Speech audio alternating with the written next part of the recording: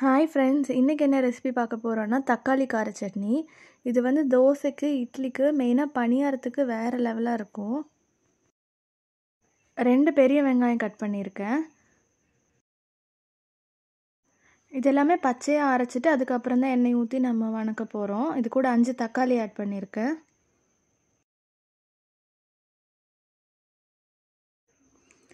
இது கூட ஒரு ஸ்பூன் சீரகம். நான் நாலு காஞ்ச மிளகாய் போட்டிருக்கேன். இது கூட கொஞ்சம் கருவேப்பிலை. அஞ்சு பல் பூண்டு.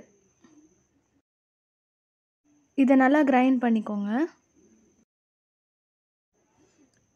இப்போ கொஞ்சம் ஆயிலில் கடுகு கருவேப்பிலை போட்டுட்டு இந்த கிரைண்ட் பண்ணி வச்சுருக்க பேஸ்ட்டை ஊற்றிக்கோங்க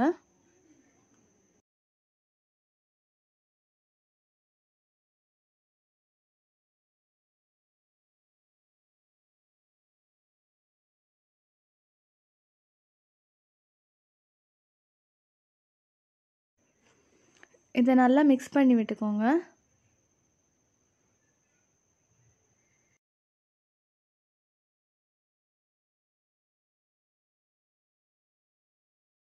இது கூட வந்து கொஞ்சம் சால்ட்டு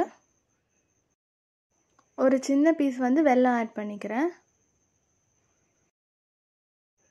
நான் வந்து நாட்டு தக்காளி ஆட் பண்ணியிருக்கேன். ஸோ அதுவே ரொம்ப புளிப்பாக இருக்குங்கனால நான் புளி ஆட் பண்ணல. சப்போஸ் உங்களுக்கு இன்னும் அந்த புளிப்பு டேஸ்ட் வேணும்னா நீங்கள் இன்னொரு ஒரு சின்ன சைஸ் வந்து புளி ஆட் பண்ணிக்கலாம். ஒரு டூ டு த்ரீ மினிட்ஸ்லேயே எண்ணெய் நல்லா தனியாக செப்பரேட் ஆகி வந்துடும் அவ்வளோதான். தக்காளி கார சட்னி சூப்பராக ரெடி ஆயிடுச்சு.